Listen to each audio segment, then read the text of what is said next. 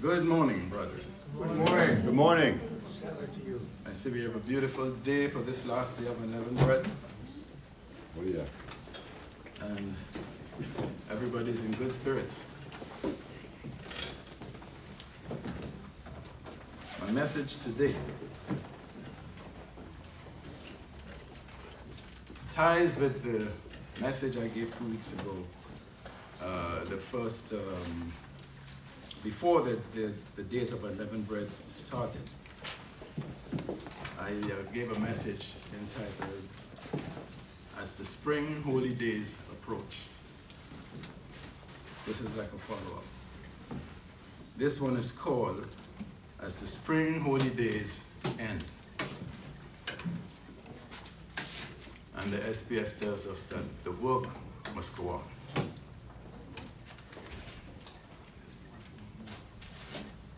Mentioned in that message how we prepare for the season that we were having, the Passover and the days of unleavened bread, how we should prepare, how we should spend them. And I think we did that, brethren, and I think, I hope we all did it from the bottom of our hearts with the love and respect we should have done it with. With all our hearts and minds. and now we have come to the last day of unleavened bread. And as much as a celebration means to us, we had a good time. We went through that season. We were saddened by the fact that our Lord had to suffer and die for us. But we were, we, we were made very happy by the fact that by his sufferings, he paved the way for us. He prepared us for a life, an everlasting life of goodness and peace and love with himself and the Father. So he overcame death and sin when he rose again. And he did this to save the entire world. And we are thankful. We are happy. The book of John, chapter 19 and verse 28 through 30 tells us. And this is after Jesus had gone through all his suffering, all his pain, and he had come to the very end. He said, the word says, after this, when Jesus knew that everything was now finished, that the scripture might be fulfilled, he said, I'm thirsty. A jar full of sour wine was sitting there. So they fixed a sponge full of sour wine on a hyssop branch and held it to his mouth. When Jesus had received the sour wine, he said, It is finished. Then, bowing his head, he gave up the spirit. What did he mean? It is finished. The work that he had come to do was complete. He had done it, and he had done it very well and to the satisfaction of his Father. And that pleased him, even though he was suffering, even though he was dying, giving up the ghost. He was pleased to say, It is finished. I've done what I came to do. We know that in his suffering, he prepared a firm and secure place for us in his father's house, no less. In his father's house, which no one can ever take away from us. We have been blessed in that way. In John, the 14th chapter, verses 1 through 3, he said to his disciples, Let not your heart be troubled. Believe in God. Believe also in me. In my Father's house are many, men, uh, are many rooms. If it were not so, would I have told you that I'm going to prepare a place for you? And if I go away and prepare a place for you, I will come again and take you to myself, so that where I am, you may be also. He was assuring us as he went along, assuring us as he went along. This was before his death. In Romans, the third chapter, and verses 22 through 25. The word tells us the righteousness of God is through faith in Jesus Christ to all who believe, since there is no distinction. For all have sinned and fall short of the glory of God. They are justified freely by His grace through the redemption that is in Christ. Christ redeems us. God presented him as, a, as the mercy seat by his blood through faith to demonstrate his righteousness because in his restraint, God passed over the sins previously committed. All the sins that mankind has committed over the time that man existed, it took God, the life of a God, to come and release us from all that, make us clean again, and able to go on and do the things that our Lord has given us to do. Second Corinthians, the fifth chapter, 17 through 19, also tells us, Therefore, if anyone is in Christ, he's a new creation. The old has passed away, and see, the new has come. Didn't I say in the last message? It was a new beginning.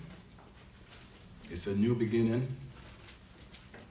for us and for every other believer. And we're moving forward. We're moving forward. We're not giving up.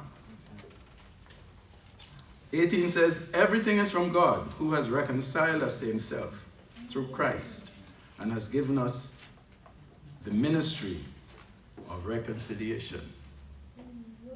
So see what Christ did here now. He reconciled us to himself and to our Father God, and then he passed on the ministry to us to reconcile ourselves both to them and to everyone else, to bring everyone else in that we are able to The ministry of reconciliation.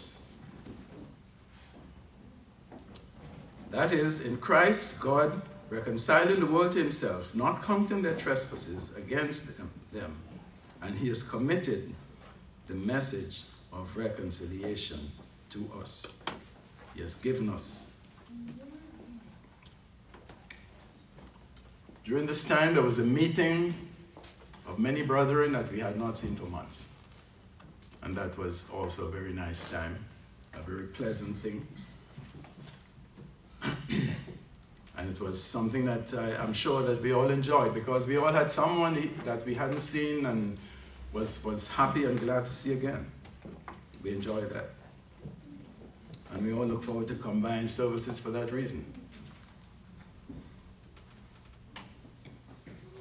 Hebrews, the 10th chapter, and verses 23 through 25 tell us Let us hold on to the confession of our hope without wavering, since he who promised is faithful. And let us consider one another in order to provoke love and good works. We can't do that if we didn't see each other, meet together during those days. In many cases, embrace each other and show that appreciation and love that we feel for each other. So we look forward to that, to those days, those meetings, those very special times. So we want to provoke love and good works between ourselves. We want this to grow. we want to just follow up on that work that the Lord had done over all that time and continue to make it better. Not neglecting the gathering together, as some are in the habit of doing, but encouraging each other, and all the more as we see the day approaching.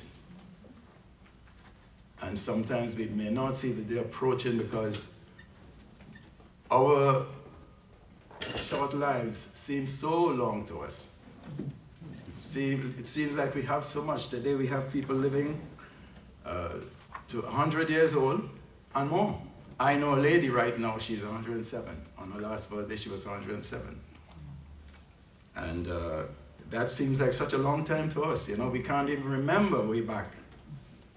But it's a drop in the bucket for the end time. The end time started couple thousand years ago.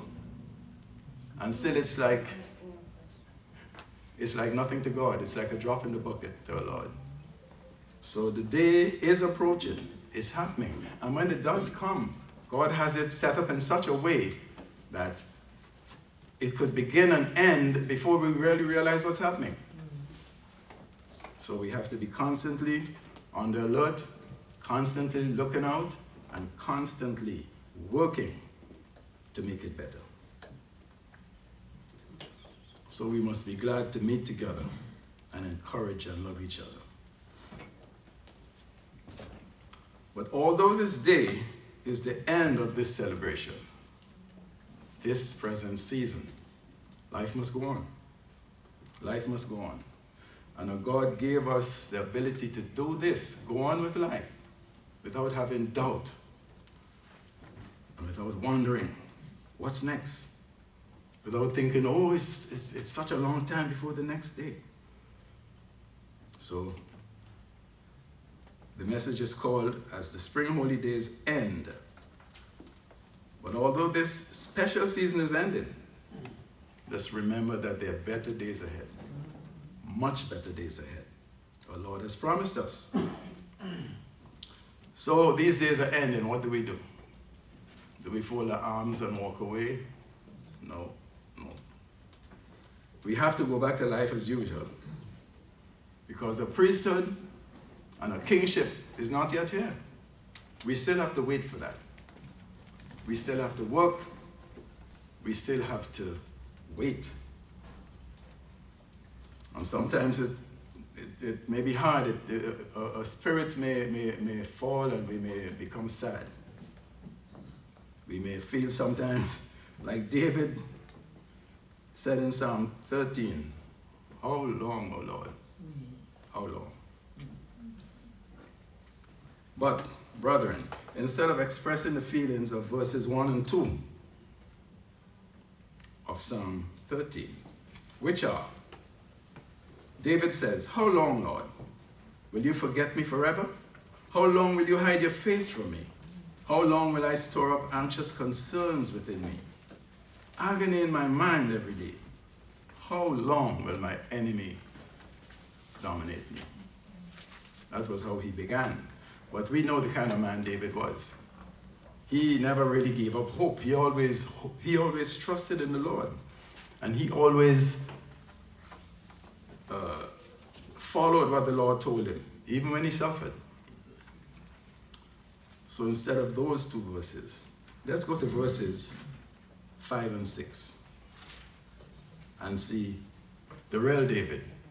The real David. He says, But I have trusted in your faithful love. My heart will rejoice in your deliverance. He knows what the Lord has to offer and what the Lord will offer. And he believes in it and he's stating it. Verse 6 says, I will sing to the Lord because he has treated me generously. Whatever happened in his life, whatever happened in his life, he knew that the Lord was treating him generously. He knew that he had done things that wasn't very good. And he was willing and ready to acknowledge this and show his respect and his love and his trust in God. so we can't feel too badly or feel like it's all over. Or it's too long to wait. No, it's not. Because during that time, we have work to do. We have work to do. We don't have to be sad about those times. it's tough, but we don't have to be sad. Because our Lord has set up his system in such a way that we always have a positive road to follow. There's never a time we don't have a positive road to follow as far as the work of God is concerned. 1 Corinthians 10, verses 9 through 13 tells us.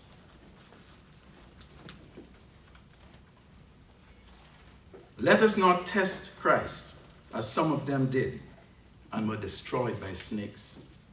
And of course, the word is talking here about the Israelites.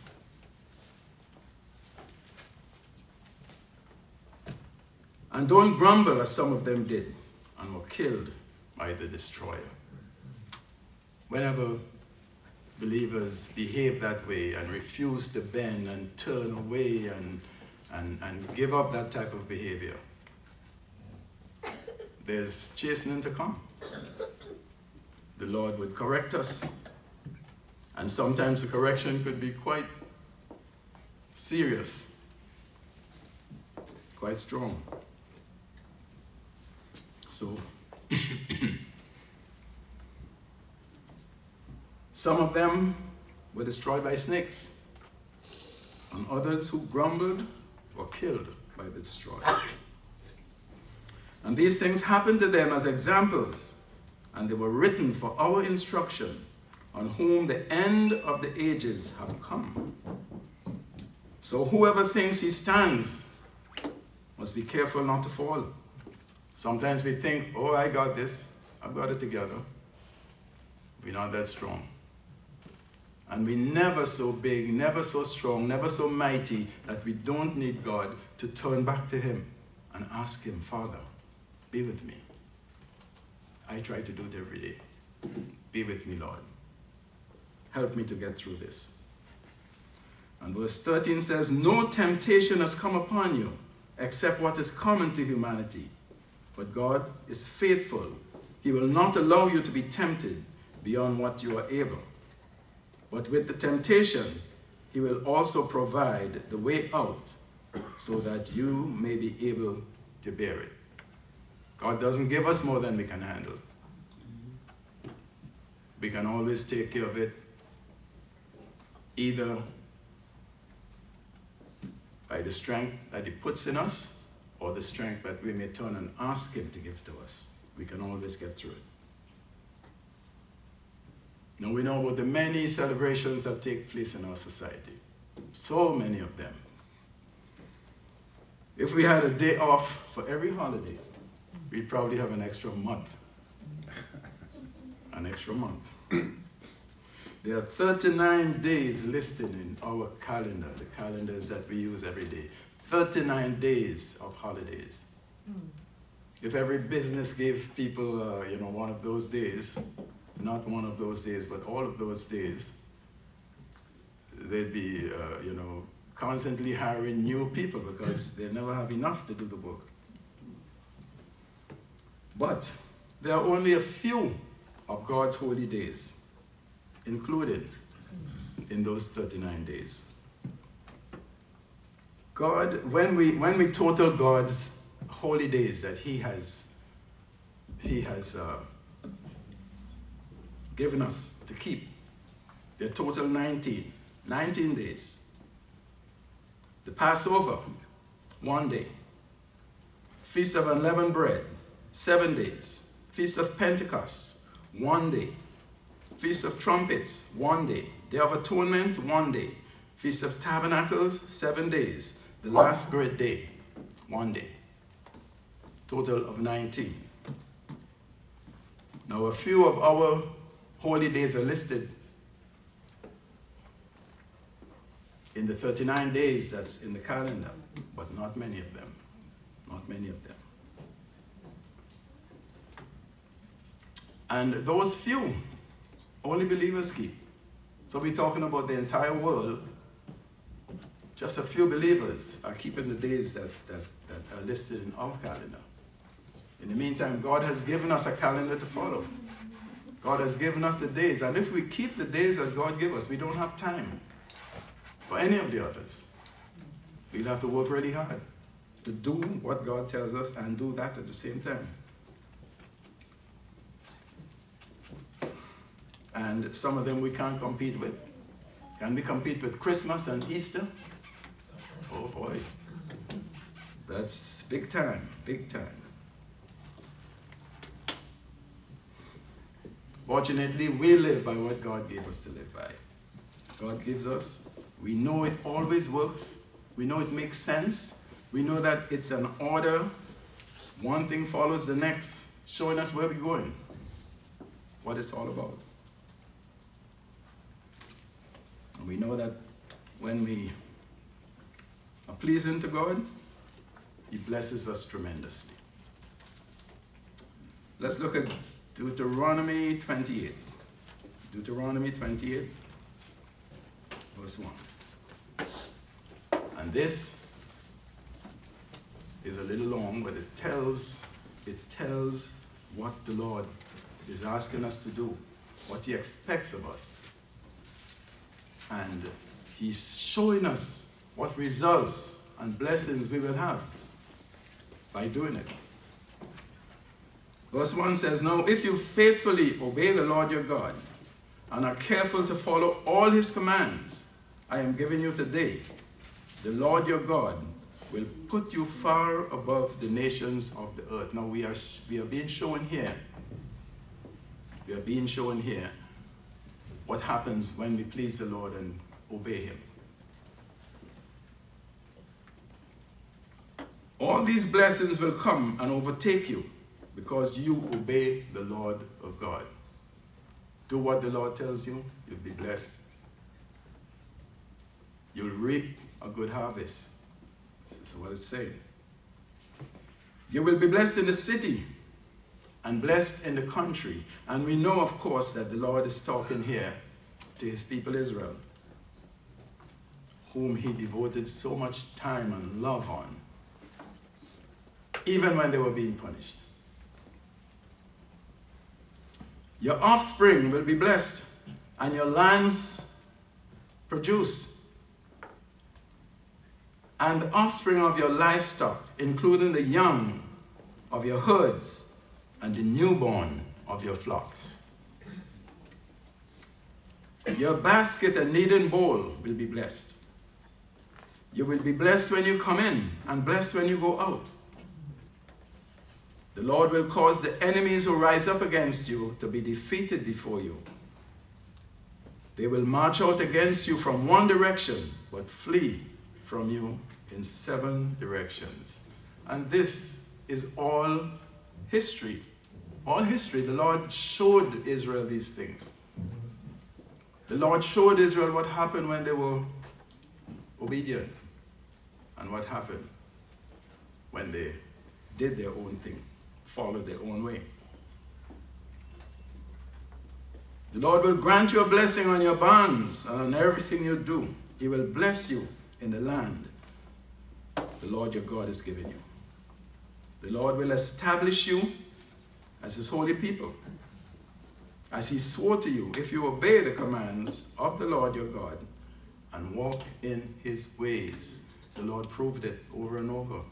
And each time Israel did the right thing, they were blessed.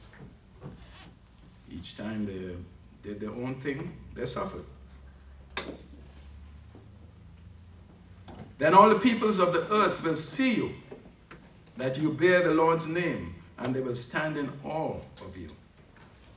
The Lord will make you prosper abundantly with offspring, the offspring of your livestock, and your land's produce in the land the Lord swore to your ancestors to give you. The Lord will open for you his abundant storehouse, the sky, to give your land rain in the season, and to bless all the work of your hands. You will lend it to many, nations, but you will not borrow. You'll be self sufficient. You'll be able to give. You'll be able to control.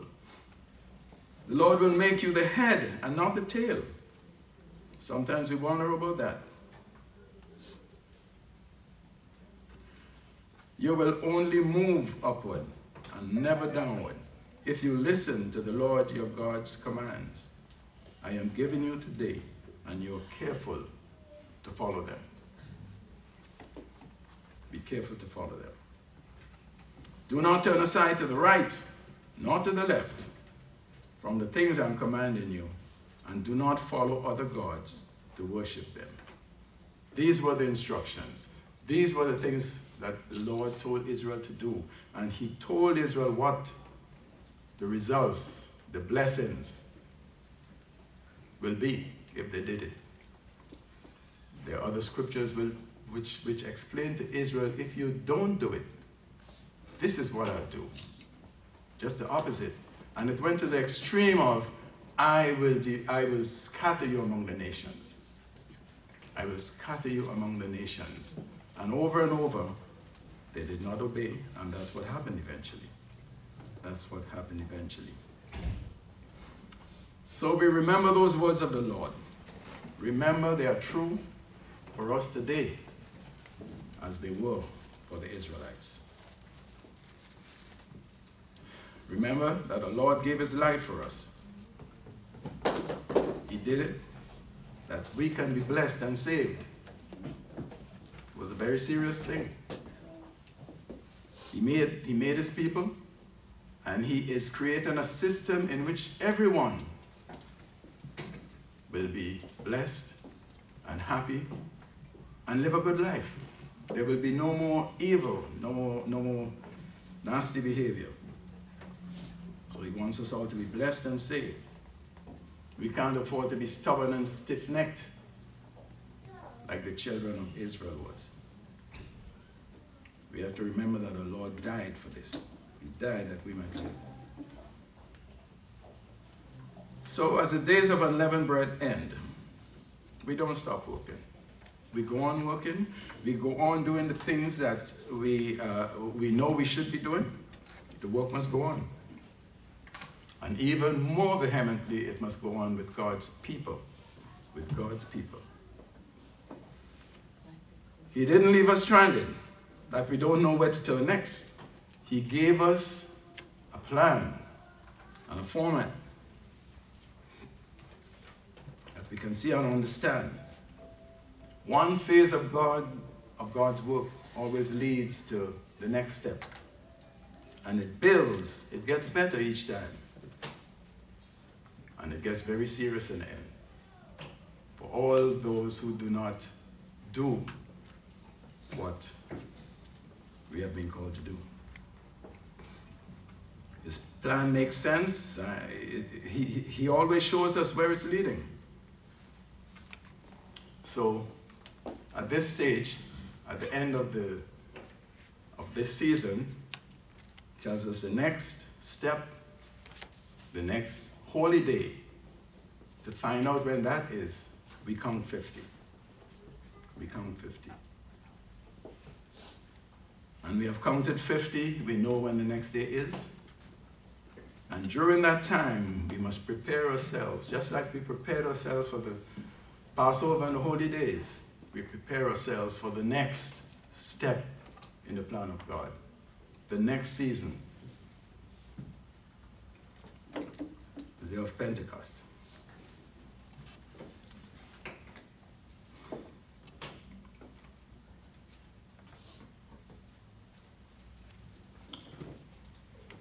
The Lord tells us in Leviticus 23, Leviticus 23, verses 4 through 8. He says, These are the Lord's appointed times, the sacred assemblies you are to proclaim at their appointed times. The Passover to the Lord comes the first month, at twilight on the 14th day of the month.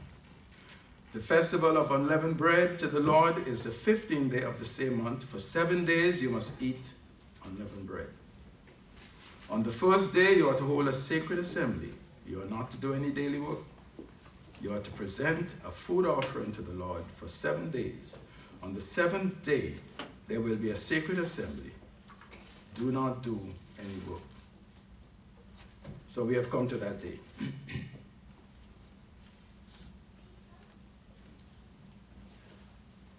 and this was a time of renewing, a time of the new beginning, a time of preparing for something bigger and better. As the plan of God's new system progresses, the new system that we're waiting for so patiently, the new system that we'll enjoy so much when it comes. We'll enjoy it so much when it comes. Leviticus 23, verses 14 through 16 tells us, You must not eat bread, roasted grain, or any new grain until this very day, and until you have brought the offering to your God. This is a permanent statute throughout your generations, wherever you live.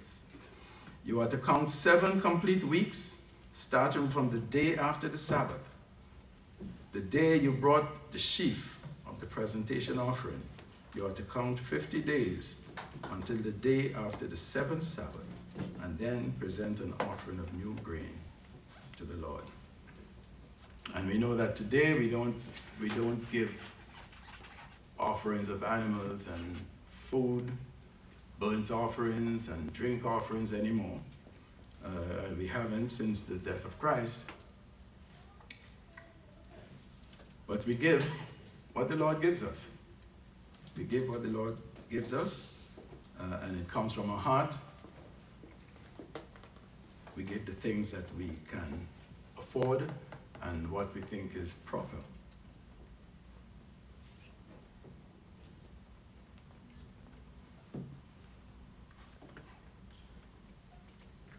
So as we prepare for Passover and unleavened bread, we now prepare for Pentecost, which is next in line.